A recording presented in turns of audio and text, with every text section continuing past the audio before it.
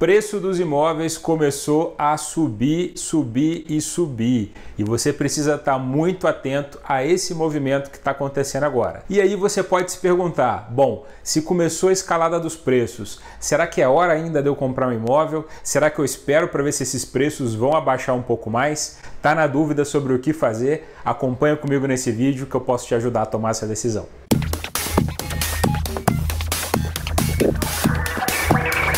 Fala pessoal, Bruno Lessa novamente dialogando aqui sobre mercado imobiliário e hoje a gente vai falar sobre o preço dos imóveis. Se você acompanha o canal do portal VGV já tem um tempo, você já deve saber que eu venho alertando para isso há um bom tempo, já faz meses que eu venho falando sobre todo esse momento que está acontecendo no mercado imobiliário e o provável comportamento dos preços, que afinal de contas estamos no melhor momento da história para poder fazer a aquisição desses desse tipo de bem, que é o imóvel, que é um bem de alto valor agregado. As taxas de juros estão no menor nível da história, no menor patamar da história. Hoje a gente tem um equilíbrio muito saudável entre oferta e demanda e os preços dos imóveis ainda são considerados muito bons pelo menos até pouquinho tempo atrás, quando eu vinha falando sobre isso, e agora o que, que a gente percebe? Percebe que os preços eles vão começar a subir. Na verdade, eles já começaram a subir de uma forma expressiva.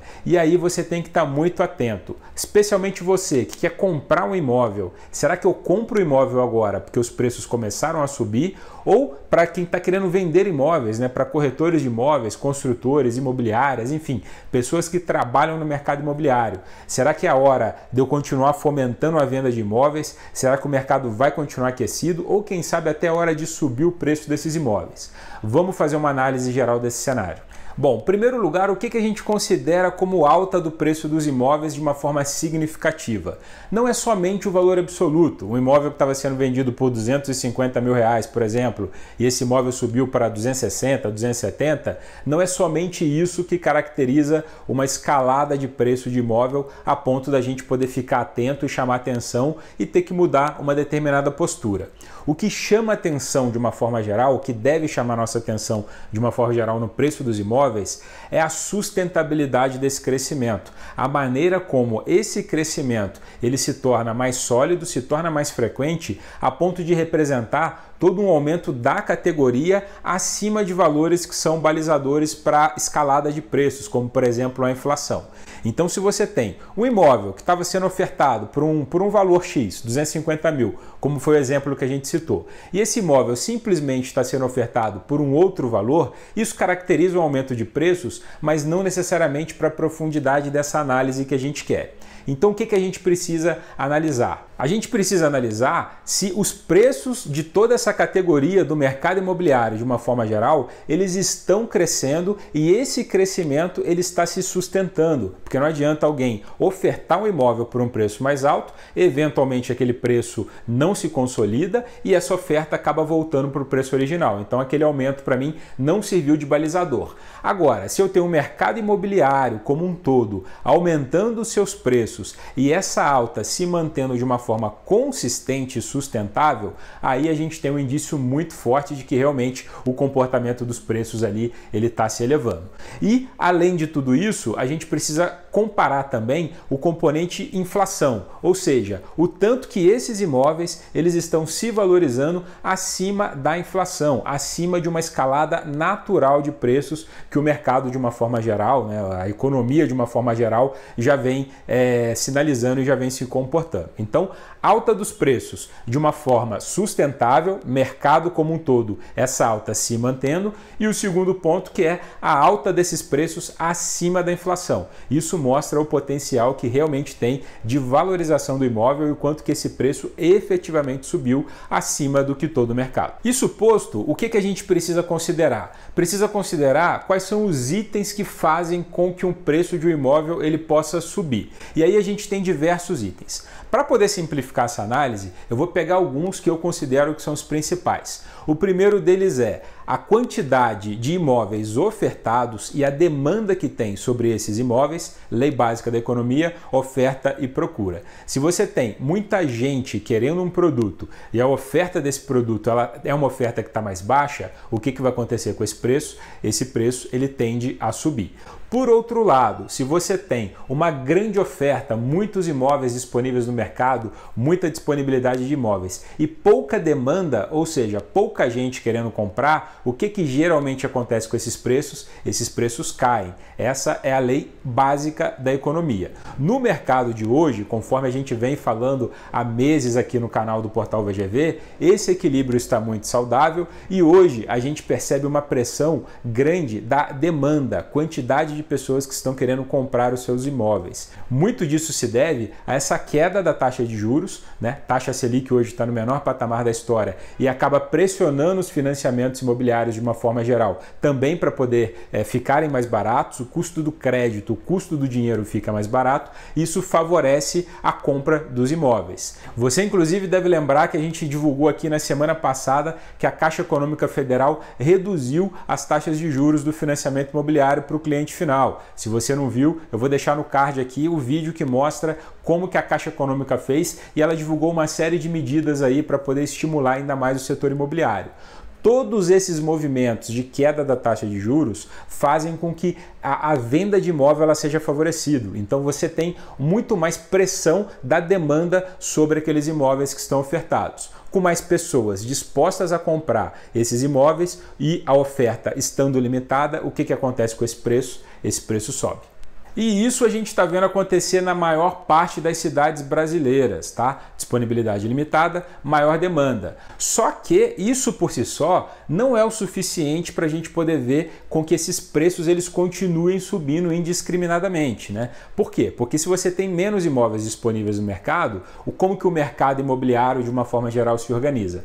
Com lançamentos imobiliários. Então se você tem um mercado comprador e você tem pouca disponibilidade, não vou nem dizer pouca, mas você tem a disponibilidade de produtos diminuindo, o que, que geralmente as incorporadoras e as construtoras fazem? Elas lançam mais prédios, então elas vão fazer mais prédios e, consequentemente, você vai ter mais oferta de imóveis. Esse movimento, a demanda aumentando, a oferta aumentando, a demanda aumentando e a oferta aumentando, como eu venho falando aqui, está muito saudável. Então, tudo isso permite com que a gente tenha é, uma grande estabilidade, vamos dizer, e uma escalada de preços um pouco mais sutil com relação à oferta e demanda. Porém, eu falei que existem fatores no plural que fazem com que o preço de um imóvel suba. E oferta e demanda não é um único fator que acontece isso. Você tem também o custo de produção desses imóveis.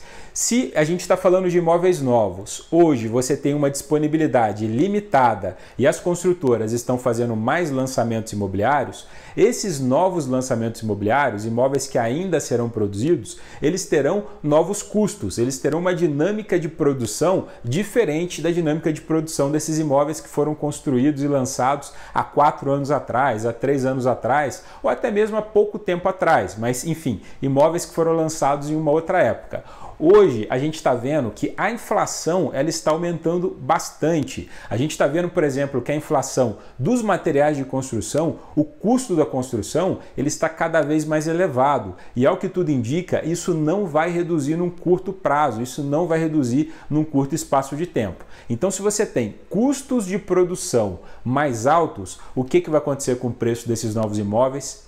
Ele vai subir. E todos esses fatores combinados, o que está fazendo com o preço dos imóveis? Está fazendo o preço dos imóveis subir.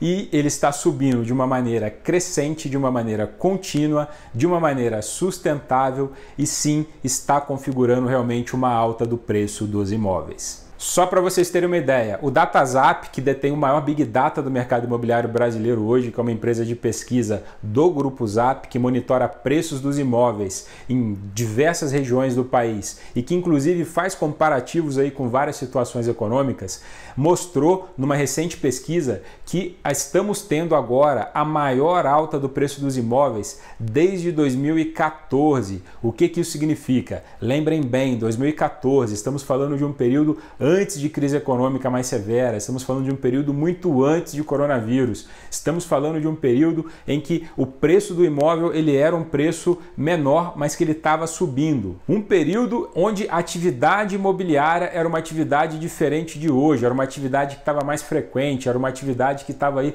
num ritmo de produção muito maior. Ou seja, eram fatores aí essenciais para que essa escalada do preço pudesse acontecer naquela época. E hoje, anos depois, seis anos depois, estamos vendo a maior alta desde essa ocasião. Isso é uma sinalização muito forte para a gente que dificilmente o preço dos imóveis ele vai cair, porque os fatores que estão levando o imóvel a subir são fatores realmente muito sólidos e que eles permanecem aí. Repare bem, eu vou deixar na tela um gráfico que mostra para vocês exatamente o comportamento do preço dos imóveis com relação à evolução de preços. Desde 2009 lá atrás até agora o período que a gente está vivendo, 2020. Percebam o comportamento dos preços e percebam que 2020 realmente já apresenta aí um sinal de aumento de preços que ao que tudo indica e todos esses fatores, se eles continuarem da maneira como eu apresentei aqui, isso indica que é só o início de uma uma escalada de preços, assim como vimos aí em anos anteriores. Portanto, conclusões desse vídeo. Se você quer comprar um imóvel, o que, que você precisa avaliar com relação a preço? Primeiro lugar, primeiríssimo lugar, você tem realmente a necessidade desse bem? Esse bem hoje ele vai representar para você a segurança da sua família, vai representar proteção de capital, vai representar é, algo muito importante na sua vida? Se esse é o primeiro sinal, beleza, ponto para você. Segundo final, você tem realmente condições de arcar com esse compromisso? Você pode fazer um financiamento sem ter grandes riscos aí de você vai perder o seu emprego ou você vai perder a sua renda? Esse é o segundo sinal. E o terceiro item, se você encontrou um imóvel que realmente atende a sua necessidade e está dentro das condições que você pode pagar, eu diria para você que pode ser sim um excelente momento para você poder fazer essa compra agora, porque os preços tendem a subir mais. Então, se você tem condições de aproveitar essa janela de oportunidade que estamos vivendo agora, mesmo que os preços já tenham iniciado essa leve escalada, essa leve subida, eu diria para você que pode ser um bom momento porque ao que tudo indica, ele vai continuar subindo. E para você que é corretor de imóveis, para você que tem uma imobiliária ou para você que é uma construtora e que porventura está preocupado com essa dinâmica do mercado, com esse movimento do mercado, eu diria para você duas coisas. Primeiro, aproveite todo esse momento também para poder reforçar toda a estrutura da sua empresa administrativa, para poder fazer caixa, para poder ter uma estrutura financeira muito boa para suportar eventuais aí é, oscilações no futuro, porque o mercado hoje ele está muito comprador. Isso é muito bom. Isso significa que você tem todas as condições para poder fazer bons negócios. Então venda, aproveite esse momento, negocie, facilite para o seu cliente. Procure não só vender imóvel, não só ganhar dinheiro, mas ajude o seu cliente a entender que esse realmente é um bom momento. Ajude o seu cliente a fazer o financiamento imobiliário ajude o seu cliente a conduzir toda aquela burocracia ali até ele conseguir efetivamente é, ter esse sonho realizado e aproveite esse momento para poder reforçar sua, a sua empresa, a sua robustez de caixa para você poder ir para o próximo ciclo imobiliário muito mais tranquilo. Portanto, pessoal, tá aí mais uma análise de hoje. Ao que tudo indica, preço dos imóveis vai continuar subindo. Quem está falando isso não é somente o Bruno, tá? Estou falando aqui da, dentro da minha experiência, dentro da minha visão de mercado, de tudo que eu presencio no mercado imobiliário há mais de uma década e conversando com meus mentores, que são pessoas que estão há mais de 50 anos no mercado da construção civil, além de economistas, além de cientistas políticos que analisam toda essa conjuntura. Então, não é uma análise simplesmente de uma pessoa, é uma análise muito estruturada para poder apresentar para você dados e argumentos para você poder tomar a sua melhor decisão. Porém, a gente entende que existem visões e visões. E se você tem uma visão diferente dessa, aproveite e escreve aqui no comentário para eu poder conhecer também e a gente poder debater um pouquinho e, consequentemente, tomar as melhores decisões. Beleza? Aproveito e te convido para se inscrever aqui no canal do Portal VGV, caso você não tenha se inscrito.